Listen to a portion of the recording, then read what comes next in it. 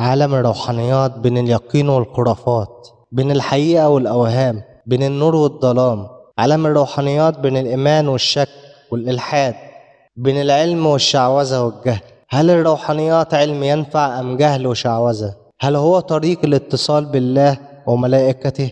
أم هو طريق الاتصال بجهنم والعالم السفلي؟ كتير من يتهم الروحاني إنه مشعوذ ودجال لكن سوف أعرض عليكم اليوم الجانب الأبيض والجانب الأسود ولكم أنتم القرار. كل شيء في الدنيا له جانبين إيجابي وسلبي. لا يحق لنا أن نتهم أي شيء إنه ضار أو نافع أو عار أو لعنة أو حتى نقول فيه إنه نعمة. دائما يلزم عليك أن تنظر بالميزان فإن الميزان هو معنى الحكمة. فإذا نظرت لجانب الشر بعين الحكمة ممكن أن ترى الشر نعمة. وإذا نظرت لجانب الخير بعين الاتهام ممكن أن ترى الخير لعنة وضلال. فمثلا للشيطان فائدة وهي أن تشعر أنك لديك إرادة عندما تغلبه. تشعر بقدرتك وتجعل لك إيمان وعقيدة وصلة بالرحمن. فإذا أصبحت الحياة بدون خير تراها جهنم وتكون عالم الظلام. وإذا أصبحت الحياة دون شر تراها جنة. وتكون عالم النور. الخير والشر هو من يعطي معنى الاتزان للحياة.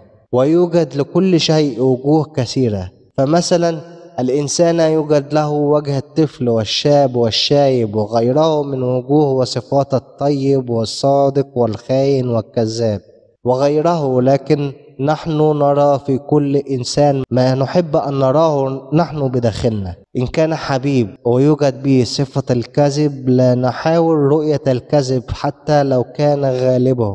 فنبحث عن وجه آخر له ونقنع عقلنا أنه مثالي لنا. وإن كان شخص غريب نرى فيه ما يظهر له من عيوب حتى لو كانت بسيطة. نطورها ونكون منها صفات ووجوه فمثلا إذا كان شخص حذاؤه متسخ نحكم عليه إنه شخص مهمل دون رؤية سبب الظروف. وإذا كانت أسنانه صفراء نقول بداخله إنه شخص جاهل لا يعرف معنى الذوق ولا نحاول أن نرى جوهر أي إنسان. لا نحاول أن يكون في عيوننا ميزان. يجعلنا دائما نؤمن أن لكل شيء في الحياة له وجهان. والآن سوف أعرض عليكم أشهر وجوه عالم الروحانيات. الإسقاط النجمي.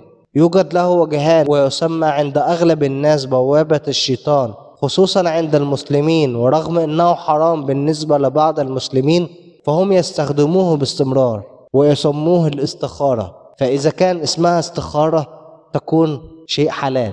أما إذا كان اسمه إسقاط نجمي يكون هو بوابة الشيطان. فهو ممكن أنه يكون بوابة شيطان إذا استخدمه الإنسان في الدخول للعالم السفلي والتعامل مع الجان. وممكن أنه يكون لمنفعة عند معرفة شيء في المستقبل ومعرفة رد فعل ما يريد أن يفعله. وممكن أنك ترى في أحداث الماضي حتى تتعلم وممكن أنك ترى في شر الماضي حتى تقوم بتنفيذه. وممكن أنك ترى بالإسقاط النجمي المستقبل حتى تقوم بتطويره. وممكن إنك ترى المستقبل حتى تنجم وتكون عراف تعطي نصائح تضر بها غيرك. تحضير الجن والأرواح. ممكن أن تسخر الجن فيؤذيك ويزيدك رهقة وضلال لأنك تتعامل مع الشيطان. ممكن أن تحضر الجن لتتعلم منه. ممكن أن تحضر الأرواح لتؤذي بهم من حولك. وممكن أن تتصل بالأرواح في جلسات الذكر حتى تعزز وتقوي طاقتك. العزائم. ممكن أن تكون عزيمة بنية تحضير الجن والشيطان وممكن تستخدم كلمات غير مفهومة حتى تكون وسيلة لجعل عقلك الواعي يسمح لعقلك الباطن أن يتحرر وتظهر قدراتك.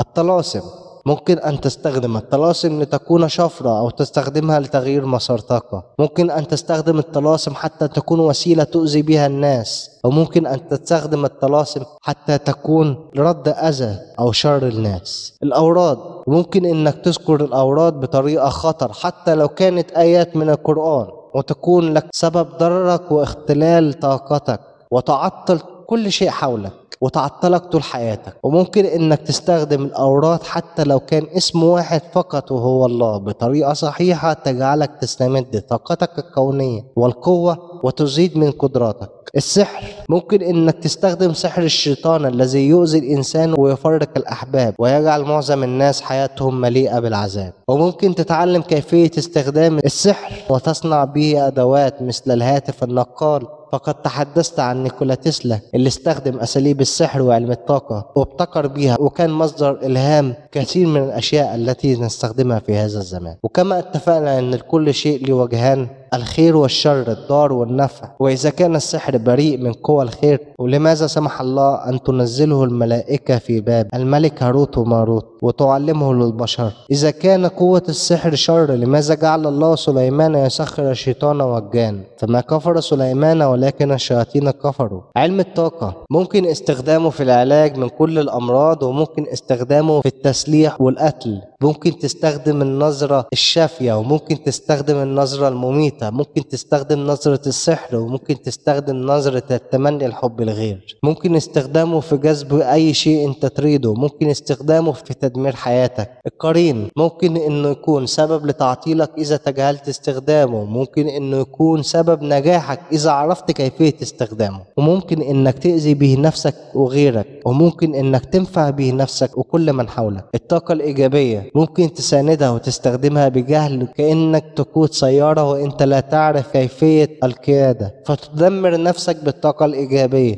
وممكن تنفع بها حياتك. الطاقة السلبية كلنا نعلم إن للطاقة قطبين موجب وسلبي فلولا الطاقة السلبية ما كنا استخدمنا الطاقة الإيجابية. طاقة الكي ممكن تستخدمها في علاج أمراض الشلل وتحريك الجماد وممكن تستخدمها في القتل والحسد والأذى وده مش كله عالم الروحانيات. يوجد فيه أبواب كتيرة لن نذكرها والأكيد إن عالم الروحانيات هو علم بريء عن أي شعوذة وكفر. لا يوجد علم لا ينفع لكن يوجد أشخاص يستخدمون العلم في الأذى والجهل. فلا تنسى أن الخضر هو نبي وولي من أولياء الله. قتل طفل ودمر سفينة وهدم بناء وهذا في فعل الخير ونفع الناس. فكل شيء له وجهان وأنت في هذه الدنيا حتى تستطيع تمييز الوجوه بعين الحكمة والميزان. وكل من تعلم علوم الروحانيات استطاع تسهيل أمور حياته ليس ضرر لنفسه. كل من تعلم الروحانيات رفض التعامل مع الجن والأرواح والشياطين لأنه مؤمن أن بداخله كثير من القدرات.